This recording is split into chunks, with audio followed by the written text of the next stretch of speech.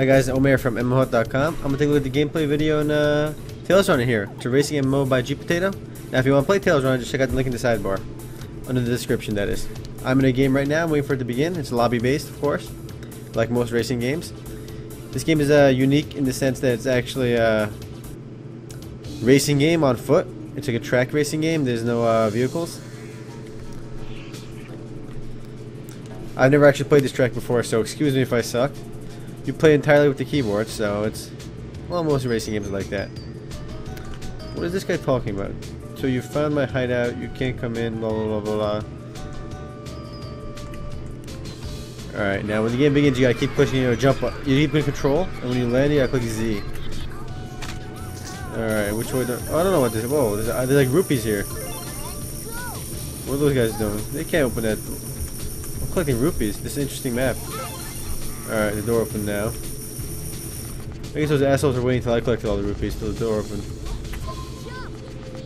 See, one really unique thing about this game is that all the levels are actually incredibly unique. It's all like really, really interesting. See, now this guy, I got, I got dodge stuff he's throwing at me now. I'm low on rupees.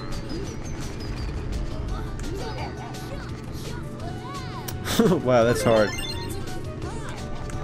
So it's racing and platforming at the same time usually. This this level is really interesting. I've never played this level before. I'm pretty sure I have to do something with those rupees though. Whoa. If I fall now, it's gonna suck. I'm second place. This, this is probably the best I've ever done in this game.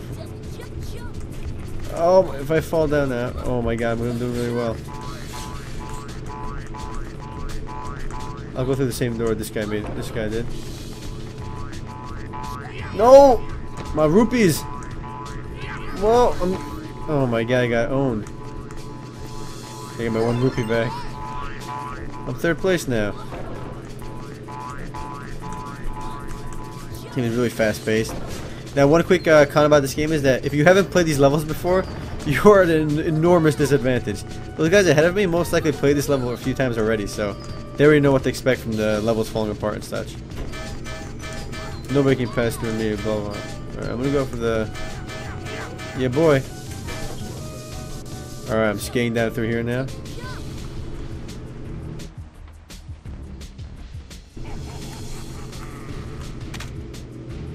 Alright, just landed over here. And these levels are usually incredibly large too. They, they do take a while. There's a whole bunch of different kind of maps. There's more traditional racing maps as well, like a plain old track. But uh, and there's items too. But this is the this is one map I'm playing right now, one game mode. There's some uh, one really interesting game mode as well. It's called boss mode. You can play with up to 30 players at once. Basically, there's a boss chasing you. You have to reach the end, and whoever reaches the end first wins. And if you the boss gets you or the obstacles get you, you basically uh, die, and you have to wait till uh, the next round. I really want to give uh, gPotato some props for bringing this game to North America because it is incredibly unique. I am a bit disappointed though that it's not as popular as it should be. I'm actually first place here. I hope that these... I don't need to have the most rupees or points to win over there. Because I only have one blue gem.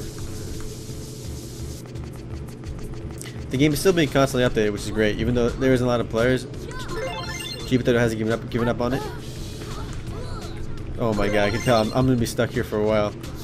I'm going to lose my first player stat first status. And I'm going to be back at the beginning every time this this is a lot harder than it looks too. Gotta take your time. Slow and steady here. Alright, at least there's a checkpoint over here. Now, a lot of the maps, I usually find myself being uh, not even be able to finish the map because uh, it's actually really hard at first. You really have to memorize all the maps to be able to stand a chance against some of these other good players online. This map is actually the best I've ever done. Oh my god, that guy just finished. Yeah, you can use dash too, but there's no point of dashing in this level because if I do, I'm just gonna fall off. And time over. I was so close too. That was a tough spot. This is an interesting game though. I would definitely check it out. There's a lot of interesting game modes. You get points for winning these races. You can buy nice clothes. It's uh, very different as well. It's the only game of its kind. What I really like though about this game is the maps are so intense. I really can't emphasize this enough. The maps are crazy as you've seen in this map. And there's a lot more interesting maps too. Well, guys, that's been the MMOHut.com's look into Tales Runner here. Now, if you want to play Tales Runner, just check out the link in the sidebar under the description.